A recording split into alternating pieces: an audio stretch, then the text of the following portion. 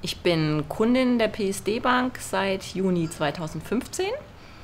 Und zwar hat mein Schwager mich darauf aufmerksam gemacht, dass er da schon länger bei der Bank ist. Und ich hatte die Not, eine Anschlussfinanzierung zu tätigen.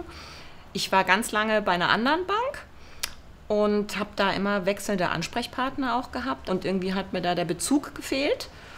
Und die Finanzierung ist, wie gesagt, ausgelaufen. Und dann war für mich die Offenheit gegeben, einfach zu einer anderen Bank zu wechseln und zu gucken, wie da die Konditionen sind. Und die waren bei der PSD-Bank eindeutig besser. Und dann ist es mir auch nicht schwer gefallen. Die PSD-Bank ist für mich die Baufinanzierungsbank, weil es jetzt meine Baufinanzierungsbank ist und ich sie auch guten Gewissens weiterempfehlen könnte.